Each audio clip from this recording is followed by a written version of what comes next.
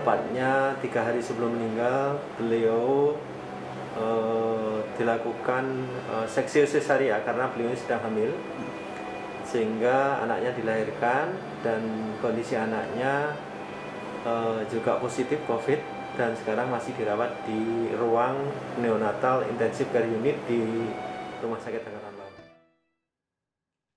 Pemirsa kembali di Prime Show with Ira Kusno dan saya masih bersama Mona Ratuliu, artis yang baru saja melahirkan bayi yang keempat. Mona, ini melahirkan ya. anak keempat di usia saat ini dan di masa pandemi COVID pasti deg-degan ya Mon? Banget, deg-degan banget. Jadi waktu itu uh, masa COVID, uh, pas masa COVID itu aku tujuh bulan kandungan tuh Mbak Ira. Jadi udah mulai dua, dua minggu sekali ya ke dokter. Waktu itu lagi Eh, ragu-ragu uh, antara ke dokter enggak ke dokter enggak gitu ya. Terus rumah regulasi sakit rumah itu sakit juga, uh, juga resiko tersendiri ya? Betul betul sekali. Uh, makanya untungnya uh, untungnya aku uh, sama dokterku bisa whatsappan. Uh, jadi setiap ada jadwal ke dokter update terus ini bisa ke dokter atau enggak bisa uh, bisa ke rumah sakit atau enggak dan waktu itu mau tanya-tanya tentang gimana regulasi melahirkan segala macam juga tiap minggu berubah ya. Jadi ya memang harus siap dengan segala ketidakpastian Iya. Nah, Mona, kalau misalnya dengan kehamilan sebelumnya, ini kan situasinya normal, tidak pandemi. Uh, pada saat ini ada yang berbeda nggak, Mon? Ketika kemudian kamu uh, pasti ada yang berbeda ya. Tadi kamu sudah jelaskan itu pun berubah regulasinya. Tapi diceritakan sedikit apa sih utamanya perbedaannya kemudian saat sampai melahirkan? Uh, sebenarnya perbedaannya sih ya itu uh, ya kita pastinya ngerasa nggak aman ya ketika mau uh, cek ke dokter dan aku juga uh, sharing sama teman-teman yang di luar daerah ya. Uh, aku punya teman di daerah Berau apalagi Berau ya di sana kan pulau ya. Di sana malah nggak melayani sama sekali uh, apa namanya uh, untuk uh, kecuali yang benar-benar urgent seperti melahirkan gitu. Kalau aku kan masih beruntung banget ya kalau di Jakarta tuh dokter kandungan tuh masih banyak yang praktek segala macam. Cuma ya memang tetap harus cek terus apakah bisa uh, ke rumah sakit atau enggak di, uh, pada saatnya pada saat mau uh, uh, untuk ke rumah sakit. pemeriksaan gitu. uh, tes COVID juga harus dilakukan ya, Mon? Iya betul. Pada saat menjelang melahirkan sih Mbak, uh, waktu itu kalau aku rapid test dan juga uh, foto toraks. Cuma aku cek di berbagai rumah sakit, uh, regulasi di uh, di tiap rumah sakit beda-beda. Ada yang cuma rapid test aja, ada yang beda lagi. Tapi di rumah sakit tempat aku melahirkan waktu itu wajib rapid test dan foto toraks. Nah, untuk semua biaya tambahan tersebut karena melahirkan di masa pandemi, ini ditanggung oleh Mona atau kemudian bisa BPJS? Ya. Uh, aku kurang tahu sih kalau BPJS, tapi waktu itu yang nanggung pribadi sih pribadi ya. Nah, kalau kemudian tadi kamu bilang jelang lahiran itu uh, tes rapid begitu, tapi kan uh, ini ada bayi yang kemudian uh, mestinya dites juga. Sama bayi ini sendiri gimana, Mon? Hmm, juga dilakukan kayaknya, tes?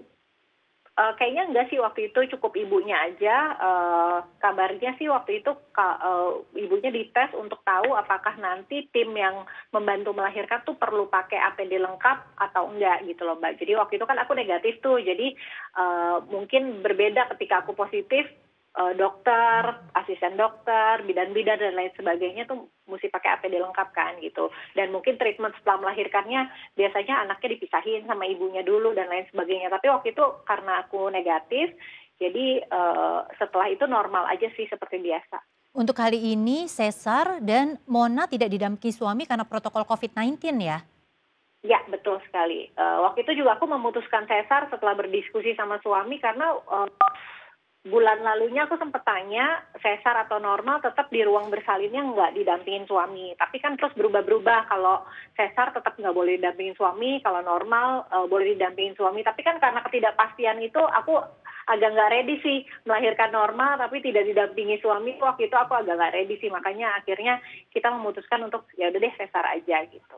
Iya karena juga uh, apa kemungkinannya sama saja akhirnya tidak bisa didampingi suami ya Mon ya. Nah betul, sekarang betul. Uh, sudah di rumah, uh, gimana upaya Mona ini untuk menjaga terutama masih masa pandemi ya. Ini sudah pelonggaran tapi orang malah bilang kan uh, kita juga tahu angkanya naik, orang-orang juga punya gaya yang tidak terlalu disiplin untuk protokol kesehatan. Menjaga diri dan bayi gimana? Uh, aku sih termasuk yang beruntung ya Mbak Ira ya, karena uh, Indra juga suamiku masih bekerja dari rumah, jadi masih cenderung aman lah. Kita betul-betul keluar tuh betul-betul kalau perlu aja gitu. uh, aku sendiri sih nggak keluar ya. Biasanya uh, orang rumah yang belanja segala macam. Kalau kita sih cenderung aman ya. Paling jaga kesehatan dengan ya makan makanan sehat terus uh, apa namanya suplemen jika perlu dan tetap jaga kebersihan gitu aja sih mbak. Cuma, kita sih termasuk yang beruntung ya. Jadi tapi sekarang kan mungkin udah banyak yang mulai kerja juga yang mulai banyak beraktivitas ya itu mungkin mesti ekstra kali ya untuk kejaganya nah sekarang kan biar gimana pun juga ini ada masa-masa bayi harus dibawa ke rumah sakit ini artinya ketika Betul. dibawa ke rumah sakit ini pasti harus pakai ya. APD pakai face shield lengkap bukan APD ya tapi maksudnya perlindungan untuk bayinya berarti ekstra ya Mon Nah kalau kita kan uh, memang biasanya pakai masker gitu ya, terus jaga jarak, cuci tangan dan lain sebagainya. Aku awal ke rumah sakit bawa bayi itu agak deg-degan juga. Aduh bayinya gimana nih kan nggak mungkin pakai masker. Akhirnya aku beliin face shield waktu itu bayinya. Jadi just in case aja. Cuma ya memang kita mesti jaga-jaga sih. Waktu itu uh, triknya adalah Uh, biasanya bapaknya turun duluan tuh untuk daftar segala macam segala macam. Kalau memang mesti ngantri, kita lebih baik nunggu di mobil gitu ya sampai akhirnya jadwalnya uh, apa namanya pas sama jadwalnya. Tapi uh, memang sekarang rumah sakit dan fasilitas kesehatan juga udah mengatur sih dipisahin antara yang vaksin sama yang sakit dan lain sebagainya. Tapi tetap aja kita tetap waspada.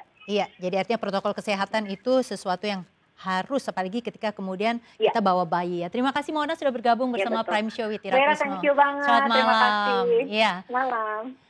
Pemirsa dalam menjalani tatanan kenormalan baru, kedisiplinan menjalankan protokol kesehatan merupakan sebuah keharusan.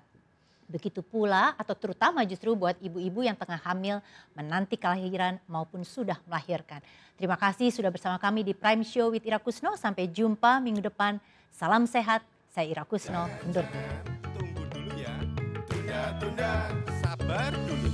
Jangan, jangan. Gak apa-apa. Tunda saja dulu. Tunda, tunda, tunda dulu. Tahan-tahan saja dulu. Jangan-jangan hamil dulu. Karena lagi corona Nikah-nikah saja dulu. Tapi hamil tunda dulu. Nikah boleh Hamil tunda dulu. Tunggu dulu ya. Tunda-tunda Sabar dulu. Jangan-jangan Gak apa-apa. Tunda saja dulu Tunda tunda tunda dulu. Tahan tahan saja dulu. Jangan jangan hamil dulu. Karena lagi corona Nikah nikah saja dulu. Tapi hamil tunda dulu. Nikah boleh hamil tunda dulu. Jangan jangan tunggu dulu ya. Tunda tunda.